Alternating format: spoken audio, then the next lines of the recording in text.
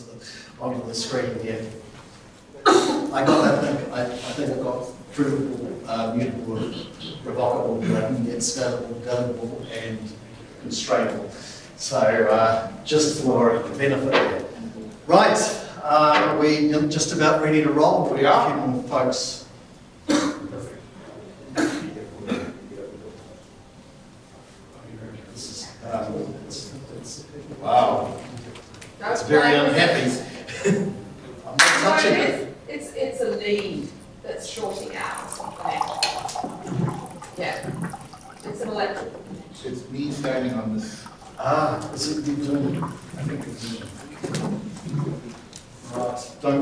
different.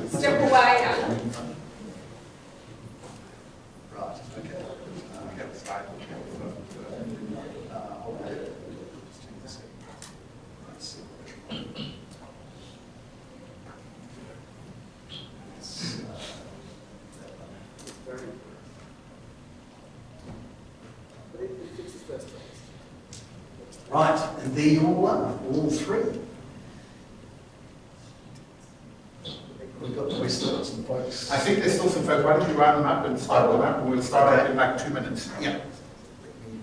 Round them up. Have to be distracted from the motion.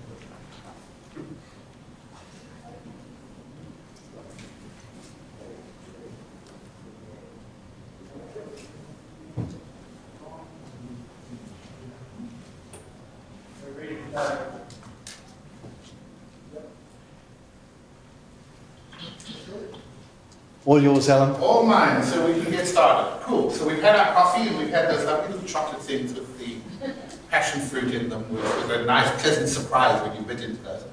So we're now going to start up, and we've got an interesting, in my mind, panel discussion because we have three analysts from Cook and representing all around the world. We've John, and Graham.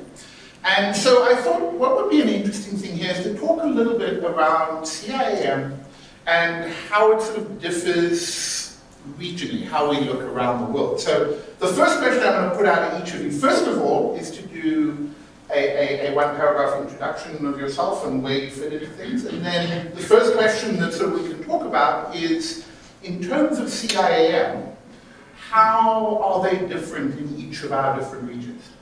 And so I can start off, Matthias, you're sitting right there, you get to go first.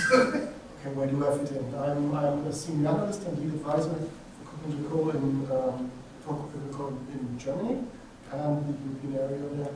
And I- I'm doing all kinds of work for all the three pillars that we do, so it's research, it's advisory, and it's events. Good, I'm John Tolbert, I work out of the, the US office, uh, lead analyst, mostly focused on research and events. I'm Graham Williamson. I'm with KuppingerCole Asia Pacific, which is headquartered here in Singapore.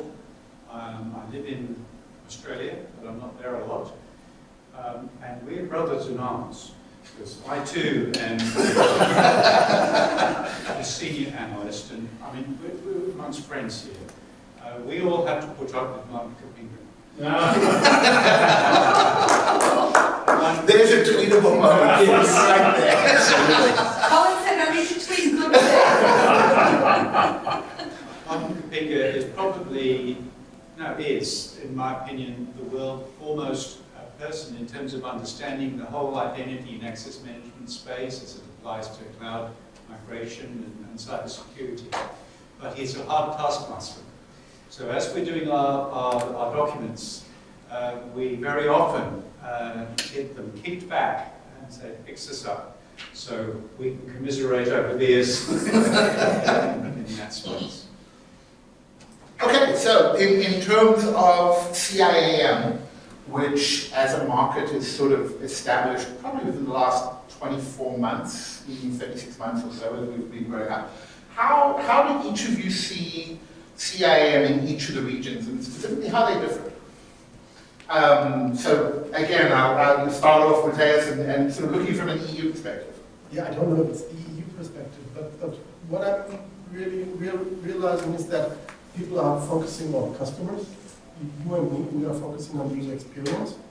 So I think the improvement of user experience, not having to create um, a, a single account for each site that you're using, reusing credentials, but at the same time doing that in a secure uh, and, and privacy-aware manner. This is something that I think is, is special for the European market at least. So having both convenience and security privacy at the same time, and this maybe also reflects a bit what we'll, we'll be talking about all these three days about GDPR. Um, we, we do not want to block our data, we want it only to be used for the right purposes. What about the US, John?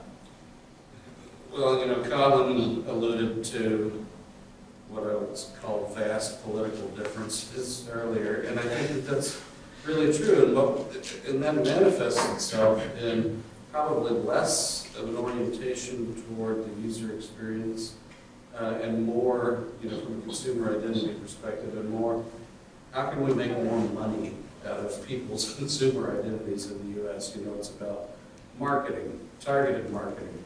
How do we extract, you know, maximum amount of information so that we can, you know, pop up the ads just in all the right places? There's a lot less concern about privacy, unfortunately. I mean, I, that's not, it can't be peanut buttered across everyone in the U.S. There are lots of us who are concerned about privacy, but at the moment, I think the reality is that we're, uh, we're not really winning that battle. So CIAM is very uh, profit-driven, marketing focused uh, from a North American perspective of it. So. And Graham, how about, how about, well, we've got Australia, we've got Singapore, and the ground in APAC, and I assume APAC is sort of different across different countries as well. The, there's vast differences across APAC as well as what does consumer identity and access management really mean? And where are we coming from and where are we going to? We're coming from a very uh, diverse uh, environment. I mean, Australia is exceedingly different from Vietnam. Um, the, however, one thing that we are aware of is there is some convergence happening. Um, as the millennial demographic becomes more um, well, larger because it's growing, uh, and as it becomes more um, enabled in terms of flexing their muscles and doing their own thing and not putting up with what their parents put up with, um, we are seeing that people want very much the same thing. And one of the things that millennials want is a good user experience. So for those, for those of us who are concerned about how to project uh, a service to consumers, it's exceedingly important to start to, real, to, to realize now that it is a user-managed access issue. And so I'm very pleased that you know, to be here at this Kantara initiative to say, look, let's make sure we get this user-managed access stuff right. Um, and can I just can I just say something for about ForgeRock? ForgeRock's got a couple of good videos on their website that you might want to have a look at on YouTube uh, and it gives you a good view of what this means. It means that when I come into a website, I want it to work the way I want it to work. I don't want to be scratching my head and say, how do I do this? As soon as, as, soon as that friction comes, uh, what the millennials do is start to tweet. And you don't want that, okay? If you're a bank, for instance, you don't want them to say, oh, what terrible trouble I've had. You want them to start tweeting, I went into the DBS site today and look what happened. You know, it was great. Uh, so user-managed access um, is, is exceedingly important. It's getting more important in Asia Pac as that convergence occurs. I had absolutely nothing to do with that. but it's good to hear because there's three different, I'm not sure I want to live in your world, John, the, that marketing side of it. But looking into our into crystal ball and looking forward here, one of the things, both as implementers and, and vendors, one of the things we have to deal with, that we're forced to deal with, is that of regulation. And I'm going to start with you, John, and then in terms of if we look into a crystal ball over the next sort of two years, again, from a regional perspective, what kind of regulations do you think are going to become more important. Obviously, I'm holding Europe for the last of this one because it's probably the clearest. Do you see any, anything else in the US side of things? Um, I, no, I think there's more of an impetus towards deregulation, actually, at this point. Well, It's free for all. Well, yeah, so I mean, I don't see regulatory pressures um, making a huge impact on CIAM in the US, except as how it relates to other regions. And I think it's that external influence that Let Matthias get into, uh, either Graham, uh, that probably will have the most impact on how CIAM implementations happen. Because as Colin was saying earlier too, does it make sense for a company that's trying to be a global business to have several different kinds of CIAM systems and what you do with the, the the citizens' data depending on what region you're in. That, that, that's an interesting sort of commentary on it, given the fact how with regulation like FACTA and HIPAA and things like that, the US has actually been fairly in front of those kind of regulations. Yes. And yet they don't care about privacy. Well, yeah, I mean, I think there are historically some regulations like HIPAA that have been good. um, But I think we need to wait and see what happens to the spirit of those regulations over the upcoming months. I mean, again, you know, we were talking this morning about FCC and net neutrality. I think that's kind of related to this entire issue. So it's, there are a lot of changes going on right now. It's hard to accurately predict what the impact will be uh, for consumers. Graham, what about, as you said, you've got a bunch of different countries all behaving very differently. What's, what do you see here? So again, uh, just as a contrast to what we see in Europe, where Europe's put in GDPR because they could, right? It's um, the member states have come together to form an agreement on this is how we're going to deal with privacy. Um, in Asia Pacific, we don't have that, uh, that ability uh, because we've got all these different countries that are doing things their own way. But um, one thing we are seeing here, and I just want to put a plug, actually a very good presentation Thursday afternoon on cross-border privacy, the cross-border privacy rules system that is uh, being adopted in Asia Pac. So it's an APEC initiative. It started some years ago, uh, but it's now gathering steam. Singapore joined back in Sep- or indicated their intention to join back in September. Uh, Australia indicated their intention uh, to join at the November APEC meeting in Vietnam. And so we're seeing um, a groundswell of interest in that. And, and what that's basically saying is, um, okay, countries that want to join the GDPR map their privacy regulation against a set of nine privacy, uh, privacy framework of nine principles. And then companies within those, those countries uh, join CBPR and get certified to it. And then that gives citizens a, a, a, a modicum of trust, where if you're dealing with a CBP, CBPR compliant or certified company, you can be assured that your privacy is being respected, regardless of where your personal information might go. Uh, so, a different attack. Um, I'm not saying GDPR isn't important here, uh, but I believe CBPR is more fitting with the Asia Pac environment. Which brings us to our friend GDPR. so, so Europe is, is probably further ahead in terms of those regulations, both GDPR and probably also PSD2, in, in terms of where those are. Um, where do you see that heading over the next two years? And, and specifically, do you see the impact in the other regions? Um, Okay, first, first, I, I like the idea that, that that Graham mentioned that EU could do this. And so there, there, that, that there's the approach that we have all EU members, member states being put into the same regime after having individual data protection laws before, which was really, yeah, not, not that funny for doing business in the EU. Now it's aligned and will be aligned by, by May. And this is something that many organizations are still struggling to, to to comply to, and this is really the work that they are doing. Um, and I would not dare to predict, to predict what happens on the 26th of May.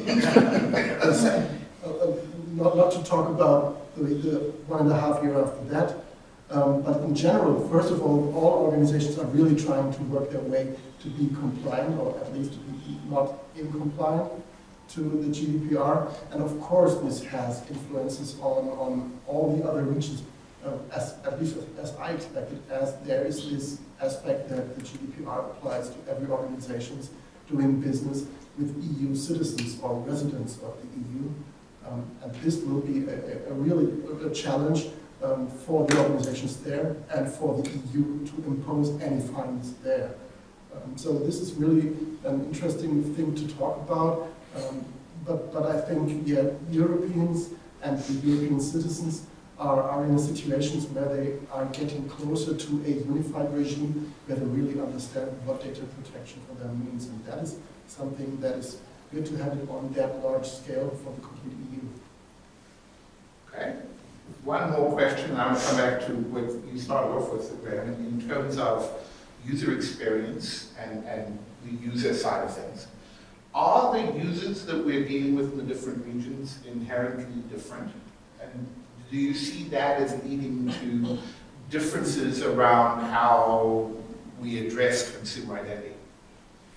Uh, can I say yes or no? uh, Good, solid. yes,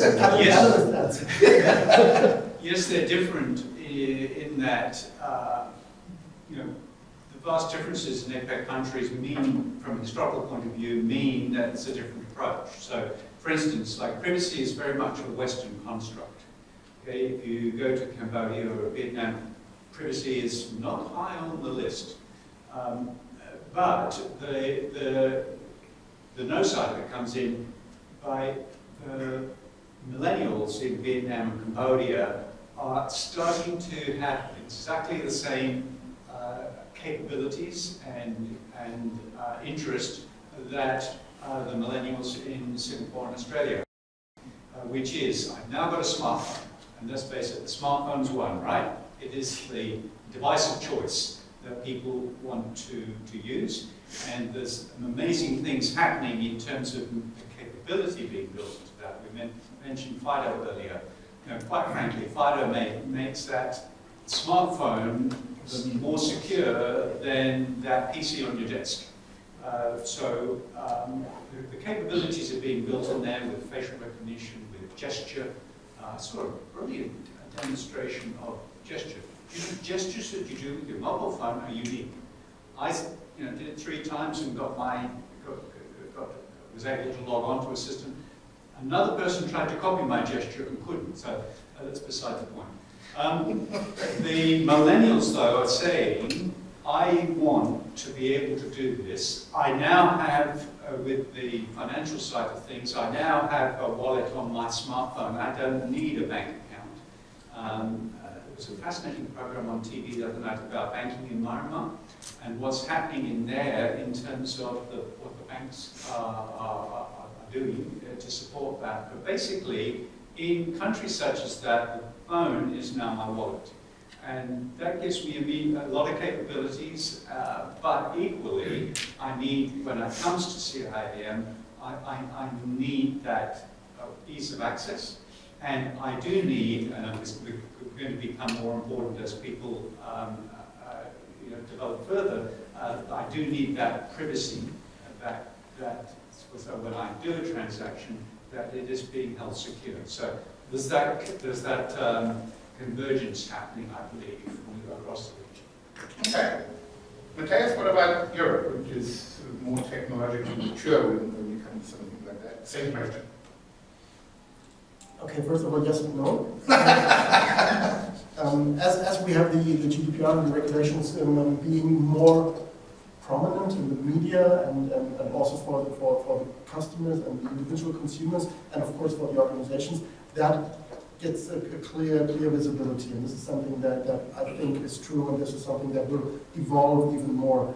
But you mentioned the millennials. The, I, I have kids which are just 18 and 20, and uh, things change for them completely.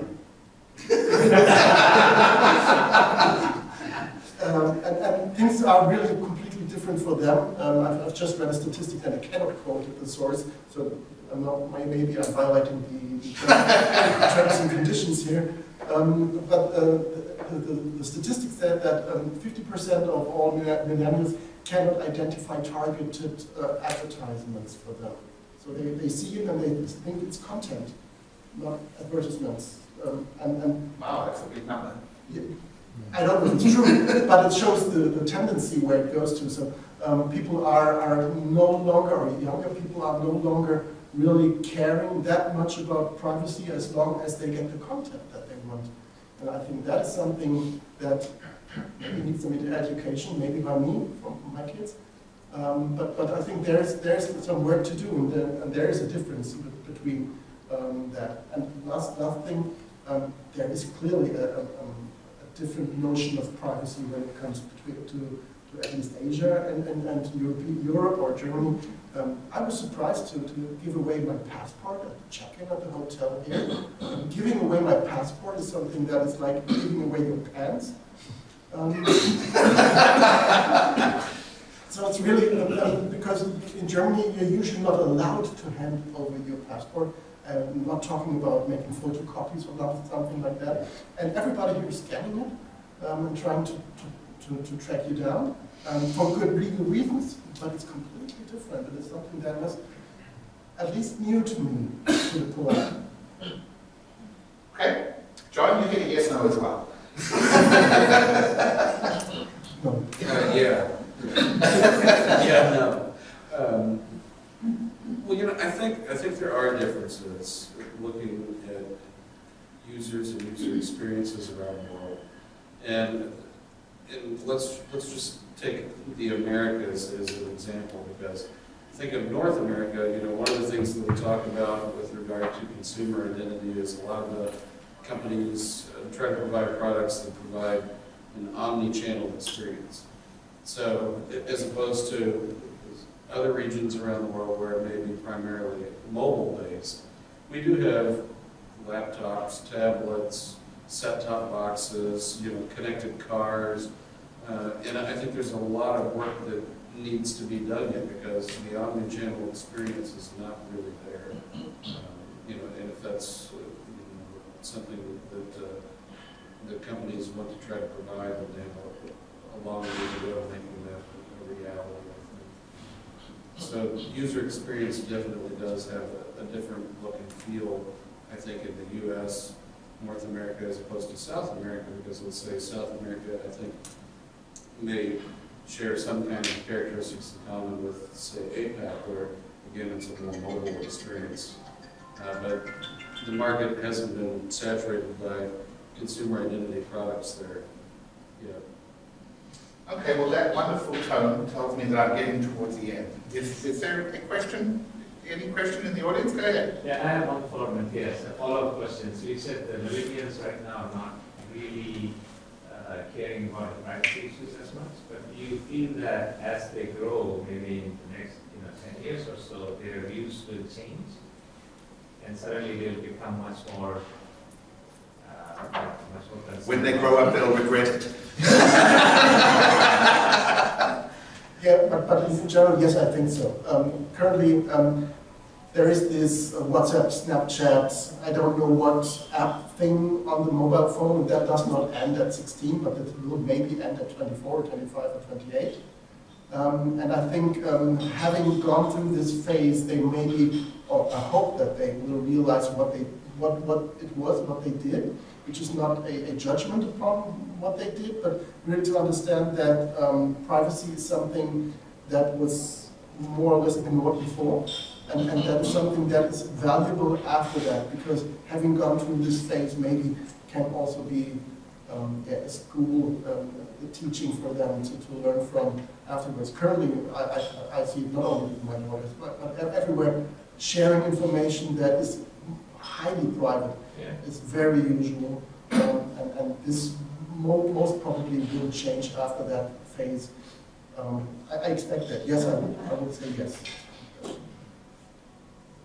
Alan, can I add Sure. I didn't address the privacy part of my response, so I think, you know, privacy can be important still in the US. I think that uh, you know, maybe our approach is, sure, I'll give you my email address if you'll give me ten dollars off this purchase, and then I'll stick you in my spam folder so that you can try to market to it. You know, I mean, there's a way, it's a workaround that we've come to.